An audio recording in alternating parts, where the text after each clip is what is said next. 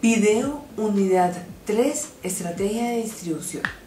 En primer lugar vamos a ver qué es un canal de distribución. Un canal de distribución es el que define y marca las diferentes etapas en que un producto eh, atraviesa desde el fabricante hasta su consumidor final. El canal de distribución entonces va a representarnos un sistema interactivo que implica todos los componentes eh, desde el mismo canal, es decir, el fabricante, los intermediarios y el consumidor final. Los canales de distribución nosotros los podemos clasificar dependiendo de la actividad que estamos desarrollando. Podemos hablar de canales de productos de consumo y hablar canales de productos industriales. Luego, estos dos eh, tipos de canales se van a subdividir en otros tipos de canales y se van a diferenciar es según el nivel de eh, canales que vayan a intervenir en el proceso como tal. Entonces, ¿cómo clasificamos los canales de distribución? Voy a hablar en, términos generales para las dos opciones. En primer lugar, vamos a tener un canal directo de nivel 1, lo podemos llamar así, y es aquel en donde está el producto sale del productor o del fabricante directamente al consumidor final.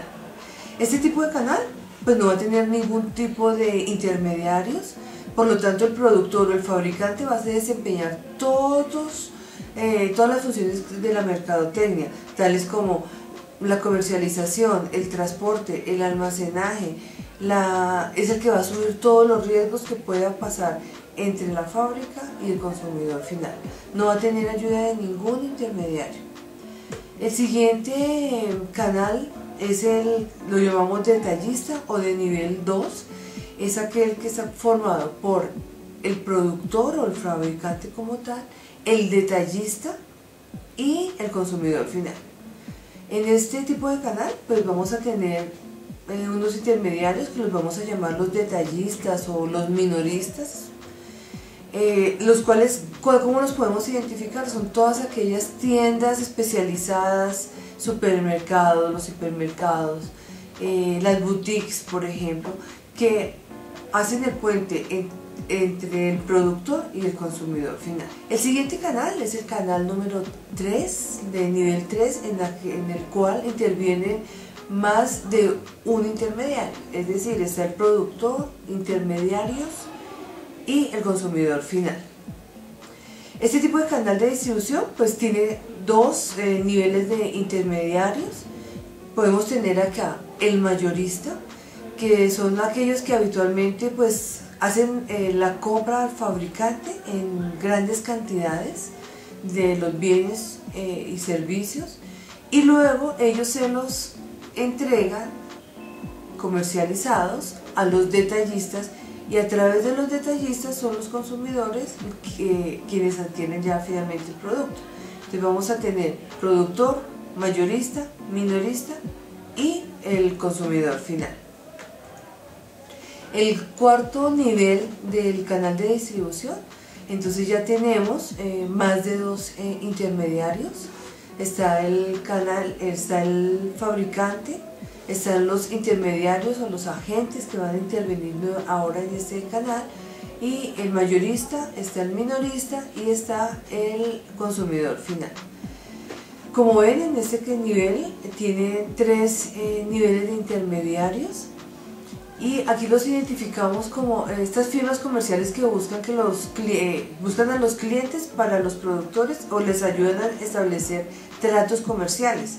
Por eso eh, los llamamos agentes, ellos hacen toda la negociación del producto con el fabricante, lo entregan a los mayoristas, a las grandes superficies, eh, podríamos hacer un ejemplo, y ellos se lo entregan a los minoristas.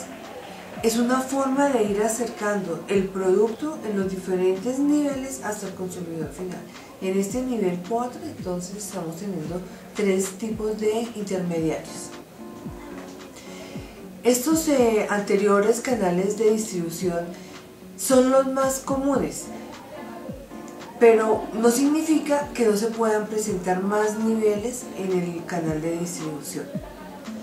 ¿De qué depende esto o las combinaciones que se hagan? Pues de las características también del producto, de la misma empresa, de los objetivos de la empresa y lo que se defina cuál es la mejor manera para llegar al consumidor final, para cumplir esas necesidades que el mercado está, em, ha, solicitado o ha hecho evidente que las necesita. Ahora, el, el número de niveles, pues, ¿qué implica? Que el fabricante va a tener mayor o menor control sobre el producto, sobre los costos que van a intervenir en todo el proceso. Entonces, entre mayor, tenga, mayor número de niveles de intermediarios tengamos, pues mayor va a ser la complejidad tanto del canal como de los costos en que vamos a incurrir. Ahora, entre más corto sea el canal de distribución como el nivel 1 donde solamente hay un intermediario, entonces pues los pasos van a ser menores, el canal es más corto los costos van a ser más cortos y la carga que va a estar a cargo del fabricante pues va a ser menor definitivamente. Ahora es importante tener unas consideraciones importantes respecto a los canales de distribución. Como les decía que un número mayor de niveles pues va a implicar eh, menor control y mayor complejidad del canal y mayores costos a incurrir que entre, mayor, entre más corto sea el canal, entonces eh, menos carga para el fabricante, menos costos inclusive también para el fabricante. Eh, algo importante que no debemos pasar por alto y es el, hoy día el uso del Internet. Eh, la comercialización o el canal del Internet va en aumento día a día, entonces este se está convirtiendo en un nuevo canal, pero es un canal también directo. Eh, menos eh, niveles de intermediarios vamos a encontrar. Es, una, es un canal muy eficiente para comprar y vender suministros, materias primas, lo que el consumidor necesite. Es una forma muy rápida de cumplir, de satisfacer las necesidades que nosotros hemos identificado tiene el consumidor final. Gracias.